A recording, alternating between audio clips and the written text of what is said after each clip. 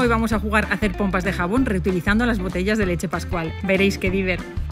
Dividimos la botella en tres y nos quedamos con la boca y la parte inferior. Podríamos dejarlas tal cual o darles un toque pintándolas un poquito, haciendo dibujos o creando personajes con goma eva, dejando un círculo en el interior para poder ponerlo en la botella.